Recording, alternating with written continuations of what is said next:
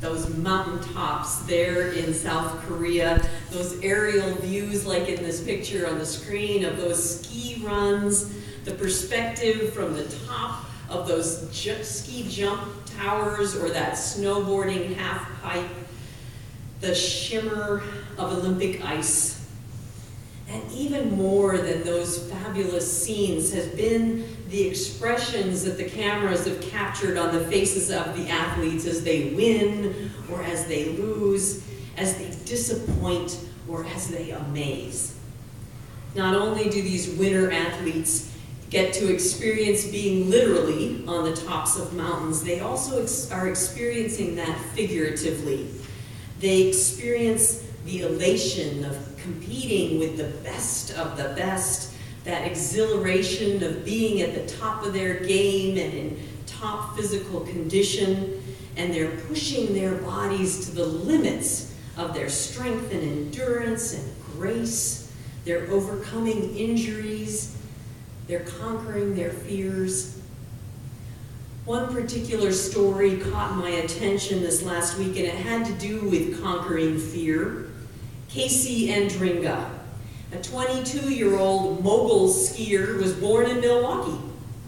He was an unlikely competitor. NBC Sports called him the biggest surprise on the 241-member U.S. Olympic team. Casey had dreamed of being in the Olympics since he was six years old, and yet he had never placed in a single national competition. In addition, he'd suffered many setbacks. He had a fractured skull when he was 14. He had a near fatal case of meningitis when he was 18. Casey was about to quit the sport a year ago when a friend sent him a message on Twitter that asked, Are you afraid? The comment struck a deep chord in him, and he asked himself if that was true. Was he afraid to continue to reach for his lifelong dream? And it propelled him then to renew his efforts. Casey and his brother spent the entire summer living in a pop-up camper in the Colorado mountains so that Casey could train each day without any distractions. He made a big sign with the Olympic rings and those words, Are you afraid? And he stuck it above his bed in that pop-up camper. He put the words on a bumper sticker on his helmet. And Casey went from not even being in the top three tiers of athletes that were um, being considered for the Olympics in May to making a spot on the team. He made it to that mountaintop. We've made a big leap in the Gospel of Mark from Sundays when we were focusing on chapters 1 and 2, focusing on the beginning of Jesus' ministry, and now we've leaped all the way to chapter 9, to that climactic point in the middle of the story. It's a mountaintop story. Only there was no gondola or ski lift to get Jesus and the disciples up to the top.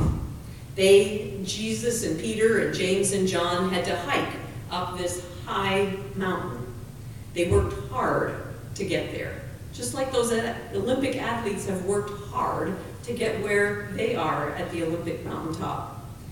And the experience from the top was exhilarating. It was even terrifying.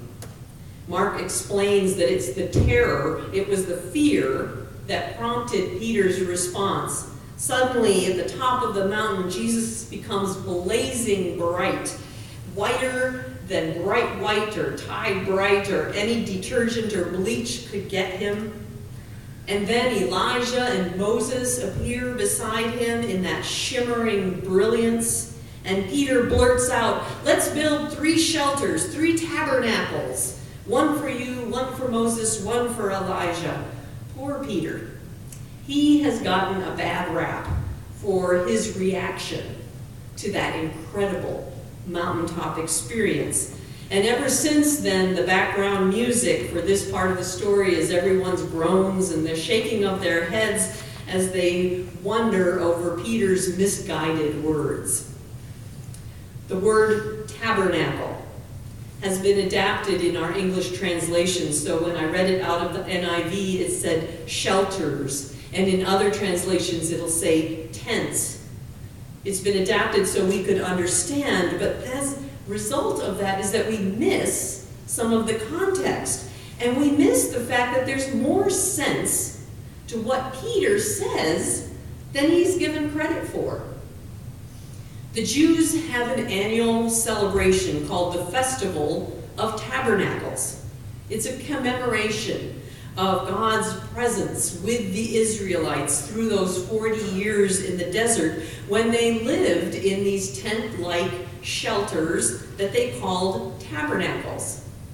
The prophet Zechariah later spoke about this festival of tabernacles when he prophesied that the day of the Lord's coming was going to be on that festival of tabernacles, that on that festival, God would usher in this new age, this uh, time when God would arrive to take control of the world and to bring in this age of peace. And so even now, when the Jews celebrate this festival of tabernacles, that whole week of celebration culminates in a time, a night that they call the Night of Grand Illumination.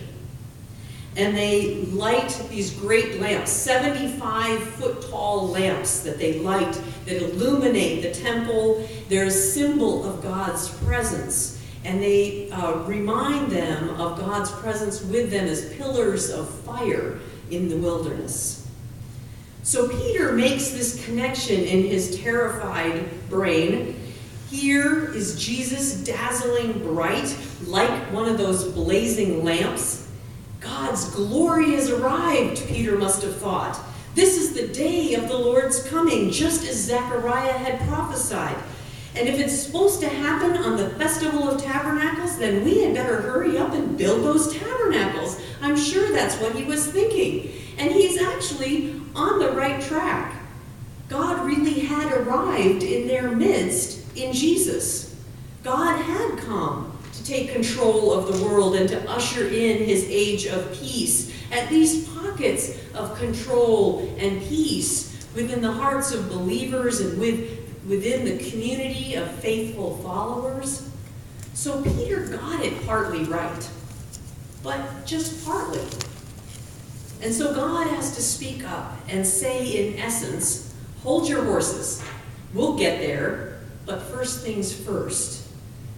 What God actually said was, This is my son, whom I love. And that was the most important thing that Peter and the others needed to know. The next thing they needed to be reminded of was to listen to him. As we wonder what is it that they were supposed to listen to? And that's not just listening to hear, but listening to heed. We just need to look back into the chapter that comes before in Mark's account in chapter 8. We find the story of Jesus asking the disciples who they think he is. The disciples report that some people think he's Elijah, and others think he's Moses. And then Jesus asks, but who do you think, who do you think I am? And Peter, bless his heart, gets it right. You are the Messiah, the Christ, he answers. Except again, Peter only gets it partly right. Because Peter's understanding of what it means to be the Messiah has to be corrected. And that's what Peter needs to listen to. Because right after that declaration that Peter makes, Jesus begins to share with them what it means to be the Messiah and to be a follower of the Messiah. And there's three key things that Jesus says that they're to listen to, they're to hear and to heed. And the first, Jesus explained that he's going to suffer many things He'll be rejected by the elders and the leaders. You'll be killed, and after three days, be raised up alive. It's a different kind of Messiah than Peter and the others were expecting. Jesus is a Savior who suffers, who's willing to give his life for his people, who is going to defeat death and rise to life, bringing hope to those who also suffer, to those who also face death, who also need hope. Next, Jesus speaks of what it's going to be involved, what's involved in being his disciple. And he says, whoever wants to be my disciple must deny themselves, take up their cross, and follow me. I like the way Eugene Peterson puts that in the message translation. He wrote, anyone who intends to come with me has to let me lead. You're not in the driver's seat, I am. Don't run from suffering, embrace it. Follow me, and I'll show you how. Self-help is no help at all. Self-sacrifice is the way, my way, to saving yourself, your true self. And then thirdly, Jesus speaks of the promise of what's to come. To those gathered around, he says, he continues, if any of you are embarrassed over me and the way I'm leading when you get around your fickle and unfocused friends, know that you'll be an even greater embarrassment to the Son of Man when he arrives in all the splendor of God, his Father, with an army of holy angels. Jesus adds, some of you standing here are going to see it happen. See the kingdom of God arrive in full force. So Peter was not a blustering idiot when he suggests building those tabernacles to signify God's arrival God's coming of glory and power. The problem is that Peter wants to skip right to the end. He wants to skip all the stuff in between. He wants to stand on that Olympic mountain without having to put in the hard work of training. He wants to skip to the reward without the suffering. He wants to skip to the resurrection without the cross. I had some similar thoughts this week as I held my precious new granddaughter. And I figured out a way to get a picture of her into our PowerPoint. There. so I can brag on her. Isn't she beautiful? Kara put in some suffering in order to give me that privilege of holding beautiful Amara. And then as I held Amara and thanked God for her. I also wanted to bless her. Only each time I started to ask God to allow her to be someone who was going to make this real mark on the world, someone who might be this great peacemaker or great leader or great healer, I would hesitate as my mind would suddenly be filled with all the images of the difficulties and the painful challenges and the suffering that she might have to endure to reach greatness. As I held little Amara, I was afraid for her of the great struggle that people who achieve great things almost inevitably endure. I wanted her to reach the mountaintop, but without having to go on the journey. On Wednesday, we entered the season of Lent the season of journeying with Jesus to the cross. Traditionally, it's a time of repentance, of self-denial, of choosing to enter into Jesus' suffering in some small way. It's a journey that many of us would prefer to avoid. We would rather skip the death threats and the betrayals that go with Jesus' journey, that we would prefer to skip Good Friday's pain and loss, to skip the tears at the tomb, and skip directly to Easter's glory and joy. But on that mountaintop, God said, listen to my beloved son. Jesus led Peter and James and John back down the mountain, back into a journey that held suffering and self-sacrifice. They didn't descend the mountain, the same men who had climbed it, however. They returned to that journey changed, transformed. The word transfigure, which is used to describe how Jesus' appearance changed or transformed on that mountaintop. To be transfigured means to be transformed into something more beautiful or exalted. That's why we call it the transfiguration. But Jesus wasn't the only one transfigured or transformed by that experience. I believe that God intended Peter and James and John to also be transfigured in some way, to be changed when they returned down the mountain to the valley and to their continuing journey with Jesus. As the Olympic athletes are interviewed this week, I've heard reporters ask questions like, so how is this achievement going to change your life? How is it going to impact you going forward?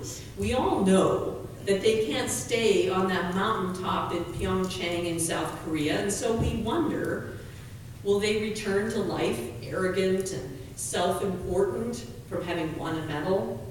Or will they return to life humbled and somehow no longer afraid of challenges. A reporter interviewed Casey Andringa, and he asked, will you now take down the sign that's over your bed that reads, are you afraid?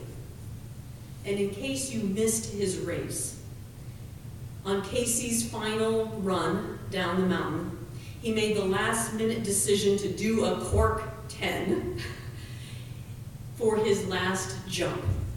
It was a risky move to use a trick that he had landed in practice, but never in a competition. But he glanced at a piece of paper in his pocket on which he had written the words, Are you afraid? And he decided to give it his all. Casey wobbled a bit on landing that cork 10, and that kept him off the medal stands. But he finished fifth when he had entered the Olympics ranked at 17, at 19th, sorry. He was changed, he said, no longer afraid, no longer feeling that he should hold back in case he might be embarrassed or hurt. He was transformed to live boldly. I guess that's what we hope for all of our Olympic athletes, that they might return not just to talk about their glory days on the mountain, but that they would be changed some way within them that would be noticeable in the way they live their lives. Peter told James and John, Jesus told Peter and James and John not to tell anyone about their mountaintop experience. They weren't to talk about it but they were to be changed by it. People were to see the change. They were to see that they acted differently. They were to be listening to Jesus more, following his lead, willing to endure difficulties, willing to suffer, to journey to the cross with Jesus, not to be embarrassed or afraid. How about you? Having put your faith in Jesus, are you willing to be transformed for the journey? To be changed by the hope and glory that's to come? Will you be going forward as one prepared to live boldly for Jesus Christ, willing to take risks, willing to lay it all on the line for the mission of bringing Jesus' kingdom to come here on earth as it is in heaven?